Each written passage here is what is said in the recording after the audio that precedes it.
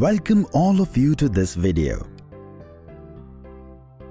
Till now, we have come to know about polygons and their types, angle sum property of quadrilateral, trapezium.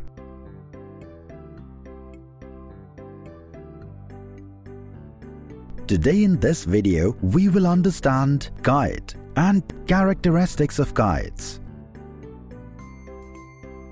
Can you tell what is this? Very good. This is a kite. All of you must have flown kites and had a lot of fun. Do you know kite is an important part of geometry like square, rectangle, trapezium, parallelogram. Kite is also a special type of quadrilateral. Kites are easier to understand than mere sightings, but a little difficult to define in precise mathematical terms. Because it is also a quadrilateral, it has four vertices, four sides, four angles as well as two diagonals. Let's name these heads with M, N, O and P. If you look at it, you will see that this pair of arms M, N and MP is smaller than both other sides ON and OP. This kite has two diagonals MO and NP. The two diagonals intersect each other at a point X.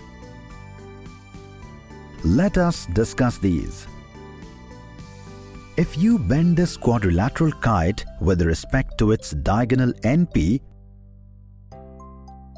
you can see that the triangle MNP is smaller than the triangle NOP, that is, both triangles are not congruent.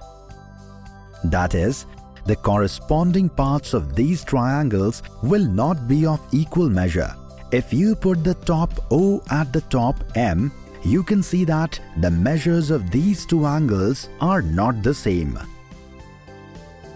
Now if we talk about diagonal MO, then you will see that here MO divides this kite into two triangles, MNO and MPO.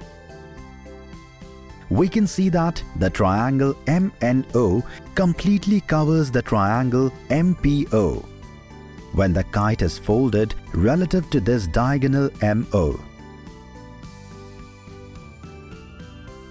Consequently, we can say that the two triangles are mutually congruent. That is, the corresponding parts of both triangles will be of equal measure. That is, the corresponding sides MN and MP and the sides ON and OP are equal and the corresponding angles MNO and MPO are also of equal measure. So we can say that a kite has two pairs of different adjacent arms. The two sides of each pair are mutually equal. The angles formed between the two unequal arms are of equal measure and the angles formed between the two equal arms are not of equal measure. Let us discuss one more important fact. You can see that both the diagonals of kite are not of equal measure. Now, if we look at the triangles MNP and OPN, we can see that both these triangles are isosceles triangles because each triangle has two sides of equal measure.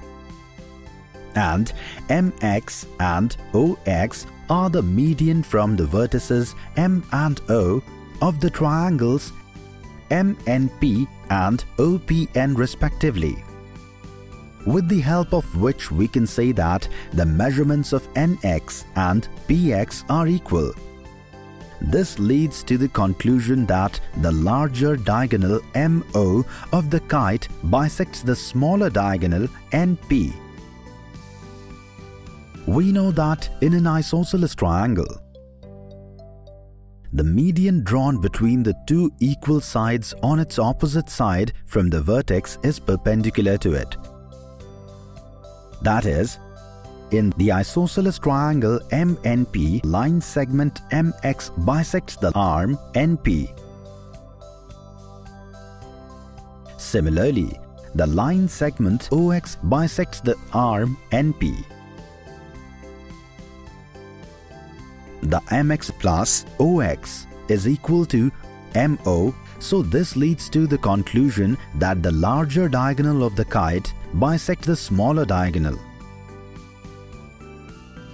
We know that in an isosceles triangle, the median drawn on its opposite side from the vertex between two equal sides bisects angle at that the vertex.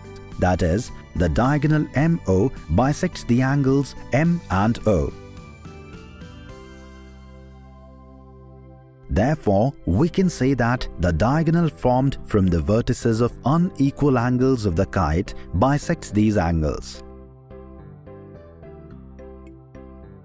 Today in this video, we learned kite and characteristics of kites. In the next video, we will learn some examples based on these.